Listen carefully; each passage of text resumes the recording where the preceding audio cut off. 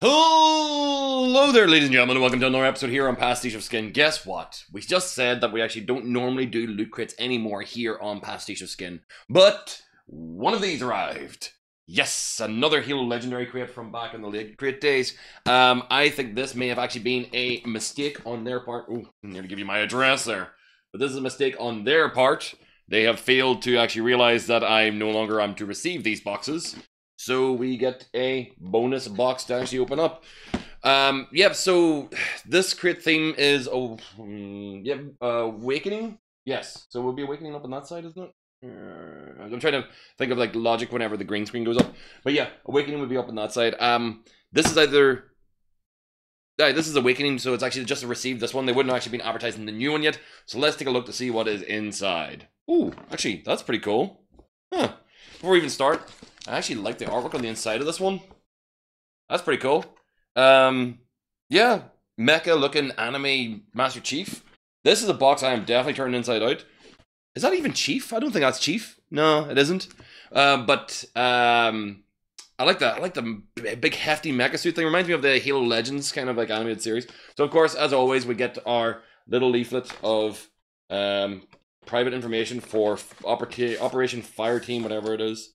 Um, forward observer module, how to actually use your handgun, pointed enemy in a large open space. Do not fire indoors. Stand clear of blast radius. Discard ones. Oh, this is actually a paint the target thing. It's an instruction manual for it. Um, yeah, so the forward observer module, satellite targeting. So essentially, it's telling you how to use one of these. That's all it is. That's actually even surprising. Like normally these things actually had more than that in.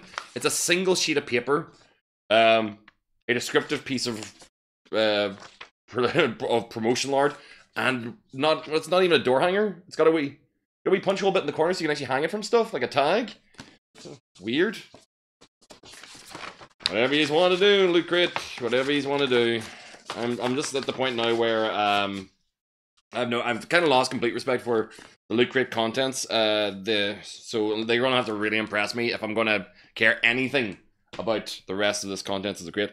So might as well do the usuals. We did the old loot crate style, and we go with the shirt first. And we're out to the wide. that's actually uh, that's a joke for people who actually might have watched these videos from over a year ago.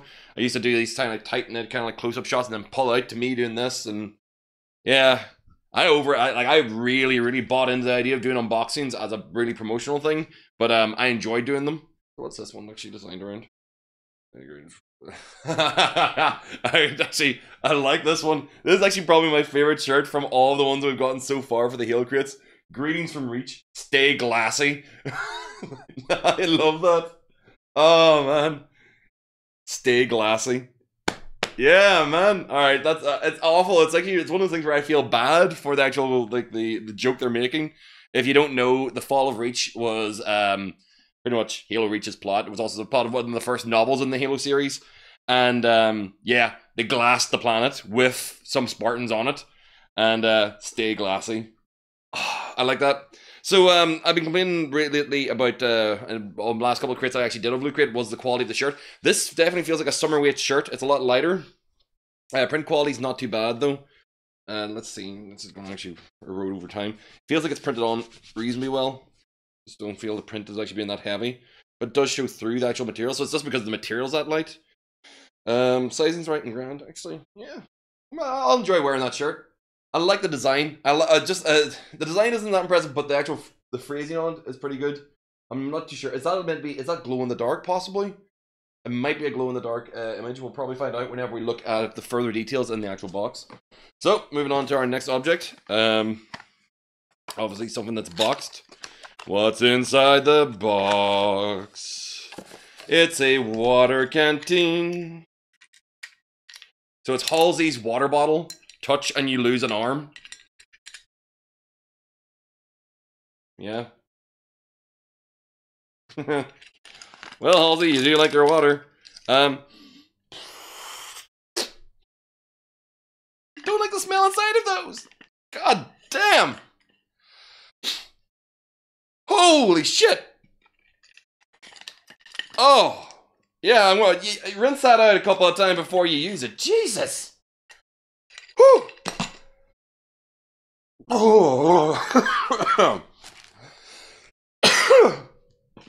Jesus Christ, sorry about your ears, guys, but wow! Whew! Okay, so, um, after that shot to the system, uh, Halo Icons. Figure series continues. This one is of a Hunter. One of the bigger ones in the set.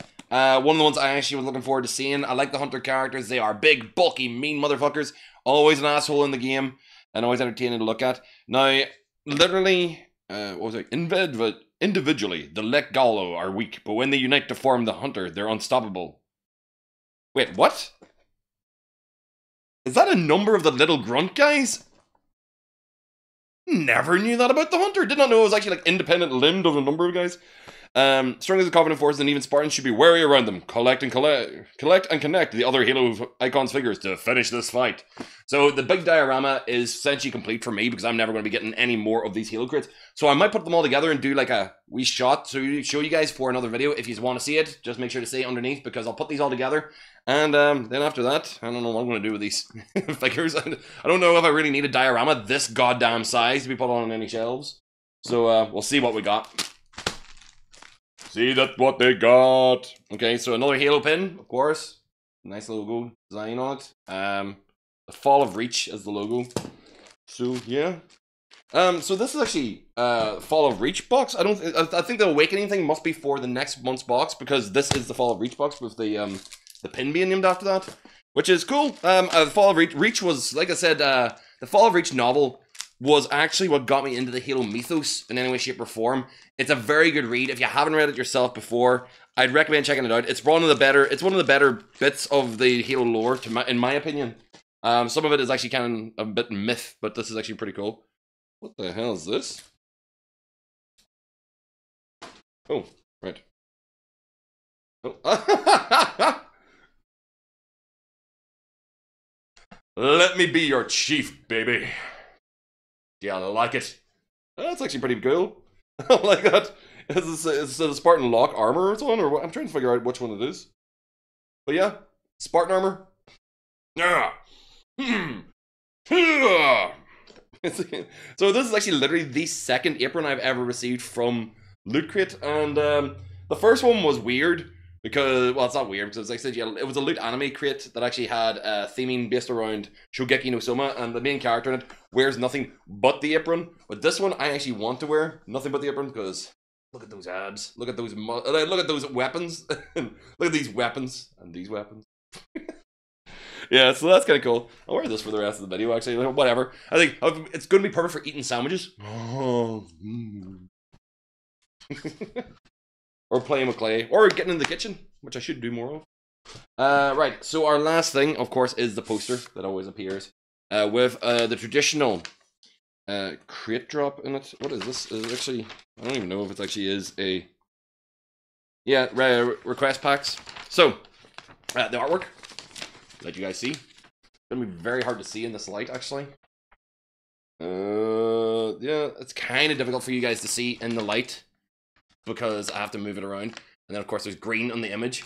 But essentially, it is the Reach team. So, uh, the sniper and the dude with the skull face, which I can't remember his goddamn name is. Uh, on the on Reach, of course, and the Last Stand, trying to survive.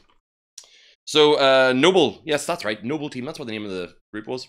There's two kinds of the Noble pin. We got the... Which one do we get? Gold or silver?